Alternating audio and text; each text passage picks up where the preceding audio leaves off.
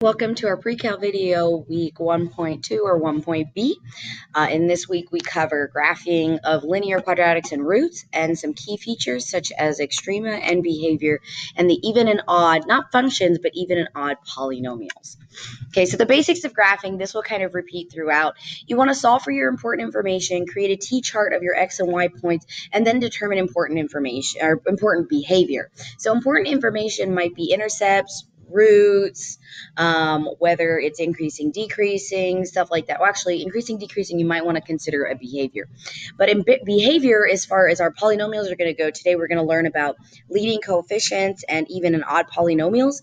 Um, but you can also uh, identify extrema and behavior, uh, increasing, decreasing, etc., etc. So we're going to start with something that should be a complete recall from previous math. Uh, that's this graphing of the linear equation. Of course, you guys might recall that formula y equals mx plus b. But just to start off, I'm going to go with what are important informations. Well, it's really easy to declare y is 0 and x is 0 and get two of those intercepts right off the bat. And so since that's pretty simple, I might as well just start there. I know a lot of you can recognize that maybe you already see your y-intercept, but let's just start with what we know. Let's set y equal to 0 and x equal to 0 and solve for that. And that becomes uh, 0 is equal to 7 half x minus 2. And this one, this would be y is equal to 7 half times 0 minus 2. That one's nice and easy. You know that there is a point at 0 comma negative 2. Again, you probably recognized it, and that's okay. And over here, we bring this 2 over. This becomes 7 halves x. You multiply by 2 sevenths, multiply by 2 sevenths, and you get 4 sevenths is equal to x. So there's also an intercept point at, oops, I did that backwards, 4 sevenths, 0. Okay, and so then you'd plot those points, 0, negative 2, and 4 sevenths is, let's say it's right here and 0. Ah. And as you can see, it looks like our slope is positive. Of course, I could have checked right here and recognized that I had a positive slope right there, but I'm just going to kind of draw. We're just sketching. That's the whole purpose of this. It's just a simple sketch, but let's check our answer, and ta-da, there we go. Here's another one. This one I am going to use that shortcut of the y equals mx plus b, where we recognize that that plus b, that is our x inter, or sorry, a y intercept. So that means this is automatically uh, 0 comma 3. And so let's go ahead and mark that 0, 3. And then, of course, I can use my slope, negative 6. Uh, because it's negative, I know that my line must be going this way. It must be decreasing. And so that's down 6 over 1. So down 6 over 1. So now I've got two points. I can connect the dots, uh, sort of. Okay, so again, just basic sketching. Just basic sketching. Can you get an image in your head? That's the whole purpose of recognizing our parent functions. Ta-da! Okay, so y equals negative 5. Uh, this is an important formula because it's important to recognize our two constant lines and is y equals a horizontal or a negative, or sorry, horizontal or a vertical. Uh, guys, the easiest way to remember here is if I told you that y is equal to negative 5, then what is x? So the easiest thing to recall here is this is negative 5. So x could be negative 3, negative 2, negative 1, 0, 1, 2, 3, and no matter what, this is always negative 5 because I'm telling you y must equal negative 5. And so if that's the case, plot those points. Negative 3, uh, where are we going? Negative 5, negative 2, negative 5, negative, negative, negative, and you can kind of start to immediately see that y equals must be horizontal lines. They must be horizontal lines. Okay, and so here's my proof. So that if y equals must be horizontal lines, what must x equals be? They must be vertical lines. Um, if it helps you to recall, because it's constant along that value, it's going to be opposite of your axes lines, if that makes sense. So that might be a pattern that some of you recognize. So then if x equals 5, I already know it's going to be right here. So let's check, and voila, there it is so let's move on to the more important information. Um, let's graph some quadratics. So again, basic sketching. We're not trying to be perfect with our quadratics, at least not yet. Um, more important in this course is can you graph, you know, exponents, logs, trig. Those are the more important things to move on to because quadratics we've seen in previous courses. So the bigger thing here is behavior. So We'll learn a lot about quadratic behaviors in today's lesson, but just really quickly, let's try this. Graph this quadratic equation. So what do I recognize? Okay, again, I can go ahead and if I know anything about quadratics, I could go ahead and start sketching it. If not, then I can start with y equals 0 and x equals 0. It's always a really safe place to start. So if I set this, and then I set this, Okay, so this automatically goes away, so I know that there's a point at 0, 0, so why not plot it? And then here, if I divide by 3, 0 divided by 3 is still 0, and then, and then, and then you still get 0, comma 0. Well, look at that. So those are the same exact plot point. Well, if I remember anything about positive quadratics, I know that it's going to go up if I wanted to, I could draw an XYT chart and I could start plotting some points. I know this is going to be 0, 0, but I could do 1, 2, 3, 4, and I could get some points. But let's just say that we're doing basic sketching because that's what I told you. So I'm going to assume this is kind of what my graph looks like. And ta-da, it is kind of what my graph looks like.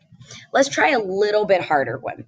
We have negative x squared plus 2x plus 1. So immediately I know because this is negative, my leading coefficient is negative, I've got a downward, uh, downward looking quadratic, a quadratic that's negative, a quadratic that opens facing down. Um, the other thing I could do is, of course, plot those zero points, but I am mostly concerned with that intercept point. So let's, or that vertex point. So let's declare y is equal to 0, x is equal to 0. So we get this. And this one kind of sucks because now you got to factor possibly even quadratic form. So let's start on this side and see if this helps us out any. So I know this is going to disappear and I get y equals 1. So that means there is a plot point at 0, comma 1. Okay, we don't officially know if it's a max at that point. Um, you would have to do a few more testings, probably an XY chart. But again, I'm just doing a very, very, very basic sketch. So I'm just going to guess what if that is my vertex I kind of just want to see how close I was. And look at that. That actually, oops, uh-oh. Oh, no, no, no, 0, comma 1. Okay. I was like, what did I do?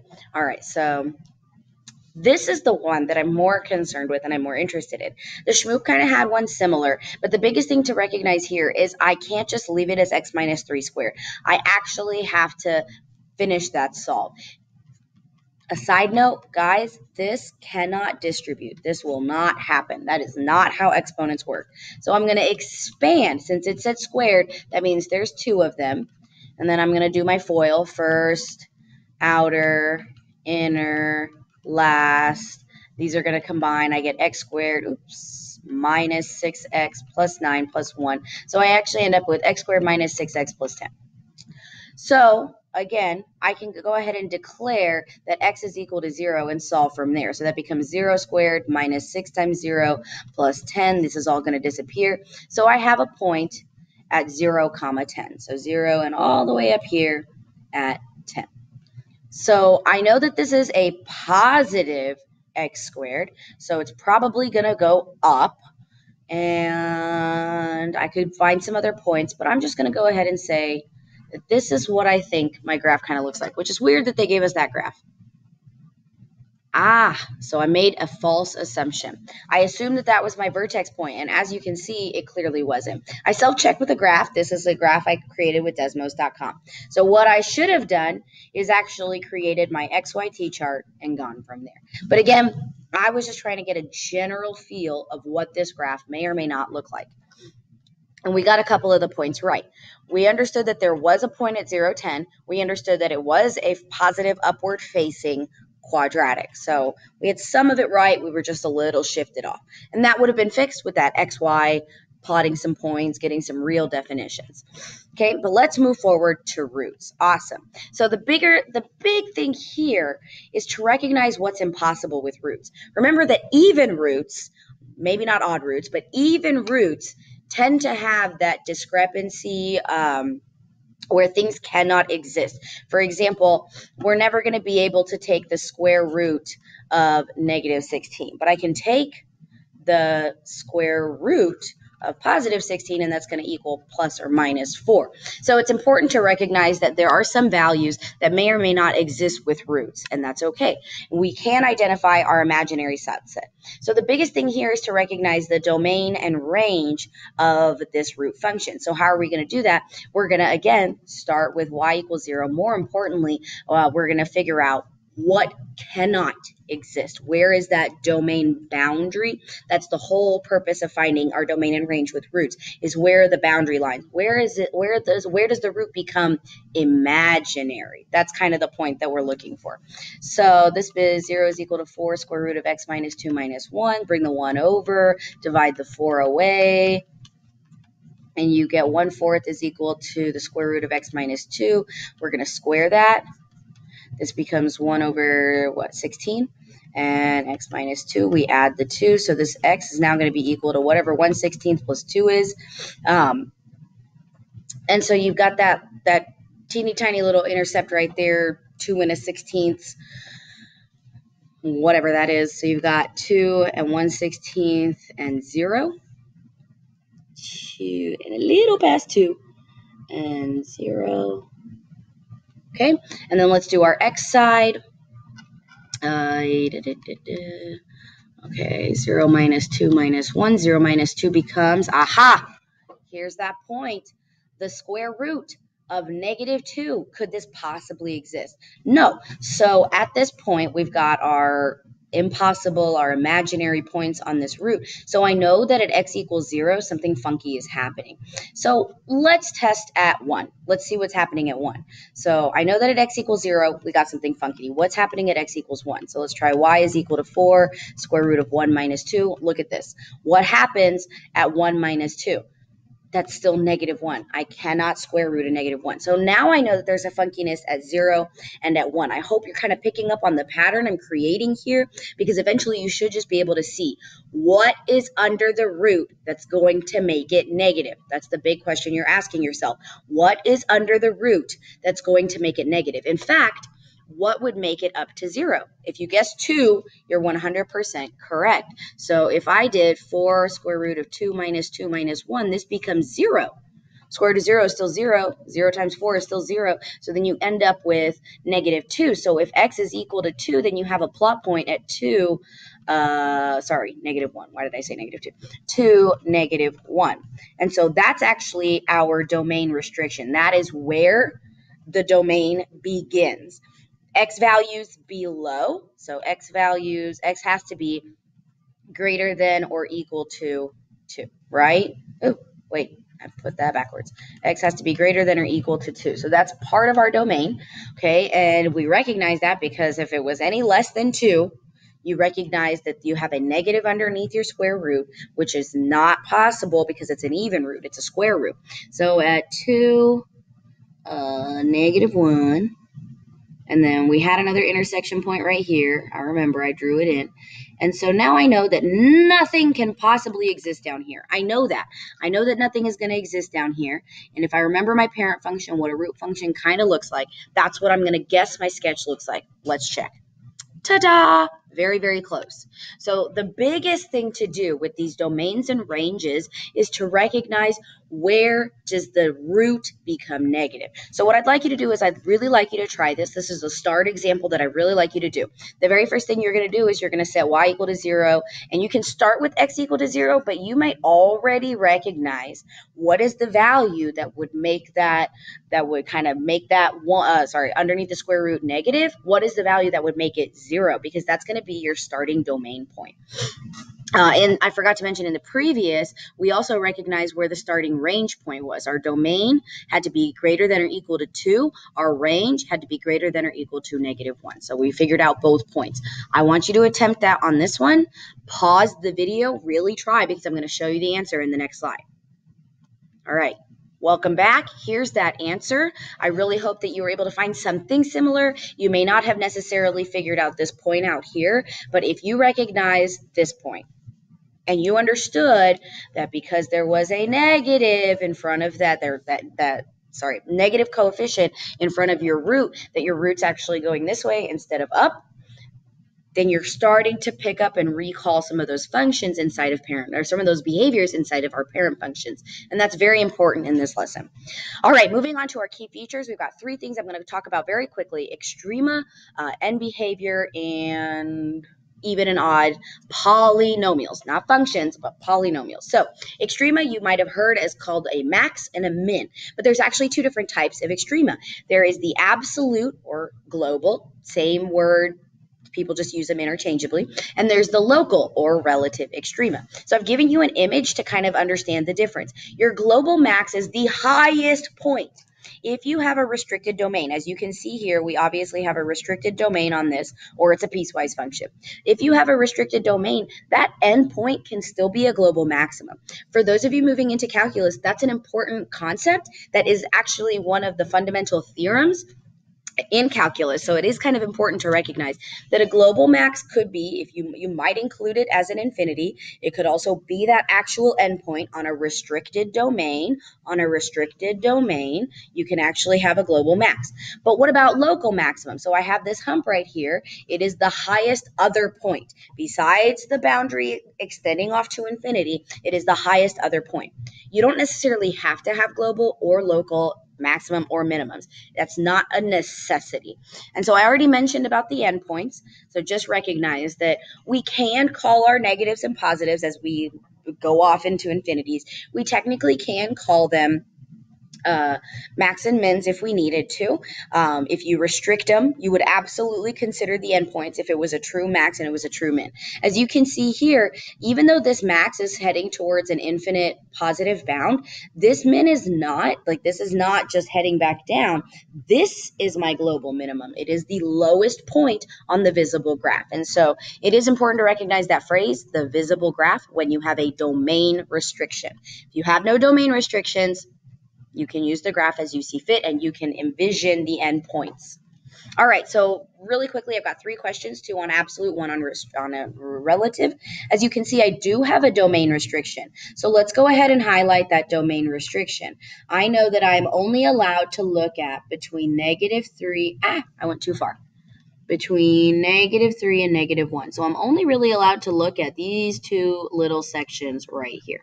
So Let's look at it. In these sections, and I'm including the domain restriction. Just a recall about set uh, notation. This means to include the values. This means to exclude the values. Yes, you can mix them. Okay, so I know that I've got a point here and a point here to look at. And so do I have the largest min and the largest max? I sure do. The minimum and the maximum, I'm going to go ahead and just mark them. If we looked at that value, it's like negative 3, 3 and negative 1, 7. And let's check our answer. Ta-da! It's exactly correct. Okay, so there was an absolute min, there was an absolute max inside the restricted domain. If I didn't restrict this domain, then this would be a local min, a local max. You could call this the absolute max, and you could call this the absolute min. So it's just kind of how you see it. Some people might say that there is no absolute max and min because we're bounding and or, or we're sorry infinitely approaching something. So that some people might consider it that way. Okay, again, we've restricted ourselves to 0 through 5. So that's right about here. So this is the only part of the graph I'm really looking at. So let's see. I see a max, but at 5, I don't really see a defined minimum. But what I could do, because it's a restricted domain, I could solve for that endpoint.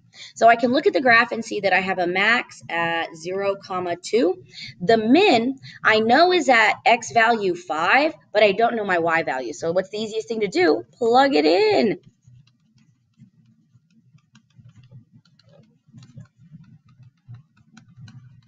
Okay, so now I know that I have a point at 5 comma 8 over 29.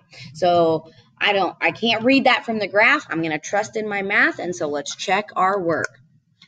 Woo, look at that. Absolutely correct. Okay, now we're talking about relative extrema. There is no domain restriction. I see a hump here and a hump here. I've got a bound and I've got a bound. So this would be technically a global max. This is technically a global min. Some would say because it's bounding infinitely, We don't technically call it that way, so it's just which textbook you're reading. But this right here is our local max, and this is our local min. And it's an easy graph, so I can read it. Uh, that's 1, negative 2. And this is, oh, that's in between. I can't quite read it. So I'm going to call it 2.5. I don't know. Uh, and negative 3.3. Let's just try those. Mm, okay, 7 thirds and negative 86 27ths, probably similar. If I really wanted to make sure, I would go to a graph. Is this the right graph? Yeah, I would go to a graph and I could check them. Okay, negative 1, 2, and here 2.33 and negative 3.185. So I was a little bit off. I said 2.5 and negative 3.3, but we're very, very close within decimal places. And so, again, it's not about being perfect. If I wanted you to be perfect, we, I'd force you to make a T chart and this, that, and the other. The purpose here is to understand behavior and to really, really, can you mentally sketch these graphs? Can you mentally sketch them? Then you're good to go. And if you can mentally sketch it, you can physically sketch it. And so that was the purpose of today's video. All right, last two key features, even odd polynomials. Again, we're not discussing even odd functions. If you recall this from previous lessons, from previous years, even odd functions, you're talking about symmetry. That's not what we're talking about here. We're discussing even uh, degrees in polynomial. And just to recall, what is a degree? So this right here is a degree x to the whatever. This right here is what we call the leading coefficient. It's whatever number is in front. And if it's just x cubed, then my degree is 3. My leading coefficient is the invisible positive 1 that's in front of it. What about negative 3x to the fourth? My degree is 4. My leading coefficient is negative 3. So let's look at that. I've given you this chart. I highly recommend that you make some sort of version of this. It doesn't have to be perfect. If you can kind of see my very, very basic chart that I drew for myself before I found this amazing image, um, it's super simple. It just says even, odd, positive, negative, up, down, down, up, up. Like it's super simplistic. It doesn't need to be all of this. But if you want to take a screenshot of this, absolutely do it. But let's use our even odd behavior just to get a basic sketch. It doesn't need to look beautiful. It just needs to be the most basic of sketches. So the first thing I want to do is look for my largest degree. Okay, so that's my largest degree. Technically, this is a degree of 1. Okay, so looking at just this information, I now know that my degree is 3 and my leading coefficient is negative 2. So this makes it odd and negative. Okay, so let's see. Odd and negative. So this is what my graph should basically look like. It should come from up and it should go down. And because it's cubic, it probably and cubic and it's not just a basic cube it has some some expansions it's probably got some sort of humps going on or something like that okay? Uh, if we want to really see what it looks like we could go to the graph i think i have it pre-set up i sure do. Ooh, whoa gotta zoom out a little bit. Ah okay as you can see i was a little bit off on my humps but uh, it went from up there's something funky happening in the middle and it went down that's all we really needed to know about this. Okay, what about this one? Um, in order to finish this, I may have to factor it out, or I could make a guess about what's just happening with that leading coefficient. So there's two different ways you could see it. Some of you might like to fully solve it out. Some of you might recognize, okay, well, 3x times x is going to become 3x squared, and nothing else is going to multiply to it. And then if I multiply, then that becomes 3x to the fourth. So you might you might have that thought process and be able to go from there. That's fine. For those of us who don't, I'm going to go ahead and completely factor this out and then finish the multiplication so you can see it. And I know I'm coming up on time. I promise there's only a couple more uh, slides up. So 3x times this becomes 3x squared. This becomes negative 18x. This becomes x. And this becomes negative 6. And that's still multiplied by that x squared. This right here in the center is going to become negative 17x. And then if I multiply across, this becomes 3x x to the fourth, uh, negative 17x cubed minus 6x squared. So again, this is still my largest degree. It is even and it is positive. So even and positive. So it should look like this. So I'm going to draw and I know that it kind of goes like this. Because it's a fourth and not a square, there might be something funky, funky happening in the center. We're not 100% sure. We didn't test all the points. And let's see. As you can see, there was a little bit of funkiness right here. It goes from up to up, and there's a max way or min way down here. Way, way, way down there. And that's okay. I'm not going to go all that way. But we got it correct. All right, the final thing we're talking about is end behavior. What is end behavior? You're literally talking about the ends of the graph, especially if the graph is going off into an infinite point or uh, one of the x or the y's are going off into an x uh, uh, to an infinite point. That's very important. Right now, you guys might have seen it as x approaches, y must approach, and as blah, blah, blah, blah, blah. Eventually, we're going to learn how to turn that into a limit and whatever that information is. But we're not there just yet, and so that is okay. All right, so we've got this. I've set this up. You can pause, you can copy this down. Really, it's just kind of getting you used to this concept. To make my life easier, I went ahead and got the three graphs. So I'm not going to try and have you guys be crazy. Let's just go ahead and look at those graphs. So my highest degree is 5. My leading coefficient is positive. So let's check that. If I'm odd and I'm positive, I should start from down and go to up boom, my graph is correct so far. But as x goes to negative infinity, so as x goes this away, what is my y doing? It's going to negative infinity as well. As x goes this away to positive infinity, what is my y doing? It's also going to positive infinity. That's all I'm asking you to do on these. So what I'd like you to try is number three. I'm going to do number one. My degree is one. My sign is negative, so it must be a decreasing linear. As x goes to negative infinity, y goes to positive infinity. As x goes to positive infinity, y goes to negative infinity. So again, I want you to try number three on this page. Pause and attempt it. And on this page, I want you to try number four, and I will show you five and six. So here, my largest, uh-oh, is that a typo? I guess not. Okay, so these are actually going to cancel each other out. So my largest is actually 2 with a negative, and so that's exactly what this is representing. So that's kind of funny. Um, but so as x goes to negative infinity, y also goes to negative infinity. As x goes to positive infinity, y still goes to negative infinity.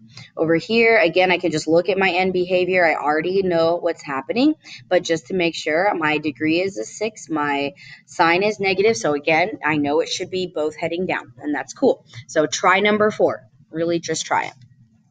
And that's all I've got for you guys. So I'll see you next week in class.